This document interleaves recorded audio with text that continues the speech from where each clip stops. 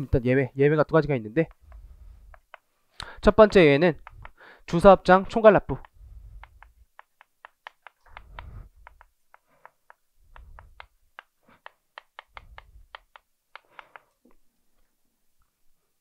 용어가 다 생소하죠. 주사업장 총괄 납부. 일단 용어를 단순히 그냥 무슨 영어처럼 이렇게 생각하시면 그냥 한글이니까 주된 사업장에서 납부를 하는데 총괄해서 납부만 하는 거예요. 말 그대로 진짜. 그래서 이런 고유 명사들은 하나의 문장을 이렇게 압축한 거죠. 이런 거 다 의미가 있어요. 그냥 갑자기 이렇게 막 용어를 정한 게 아니죠. 어떠한 의미를 한 번에 압축한 명사들이요.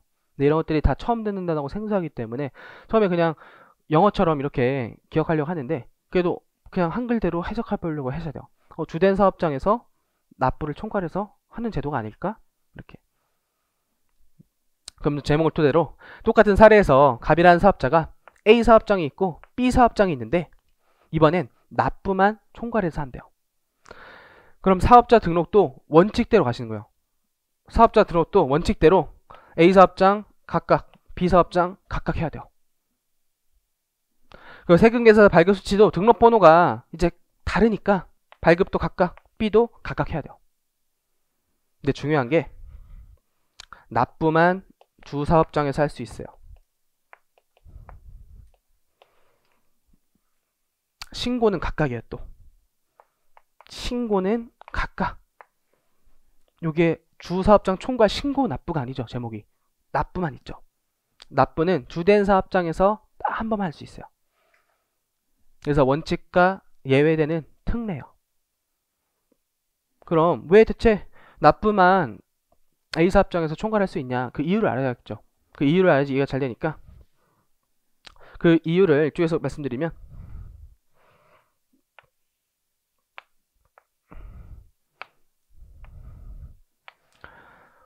A 사업장에서는 천 원의 물건을 매입했어요. 그리고 B 제주장에 천 원을 그냥 원, 월, 원가대로 반출해요.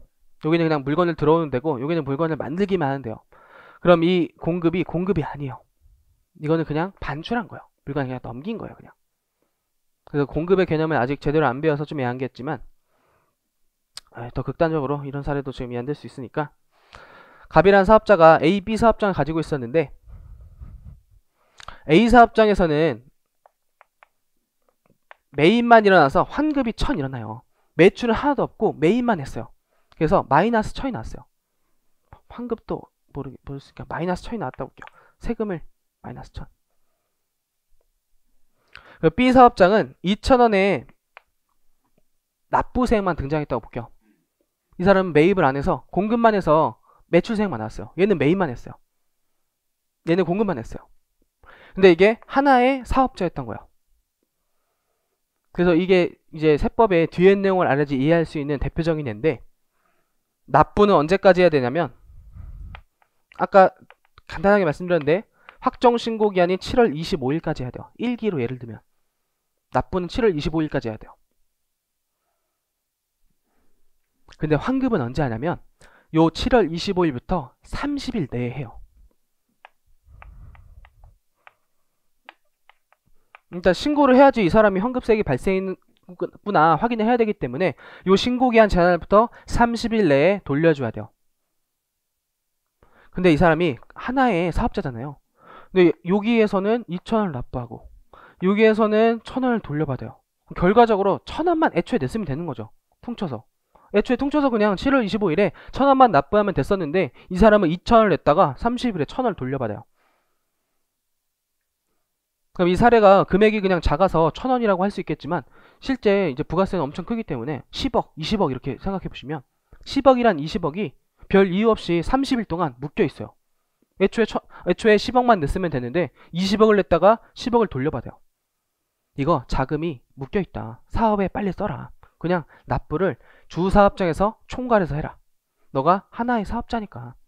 그래서 이때 주된 사업장에서 천 원을 퉁쳐서 주된 사업장에서 한 번만 납부해라. 이게 주사업장 총괄 납부 제도예요. 대신에 중요한 게 신고는 각각 해야 돼요. 납부만 총괄해서 하자.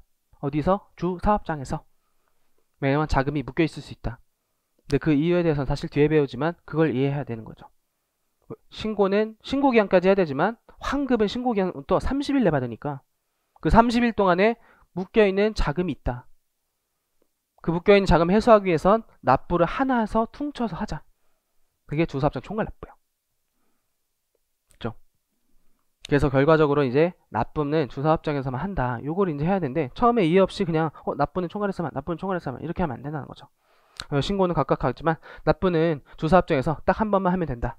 이게 주사업장 총괄 납부 첫 번째 특례고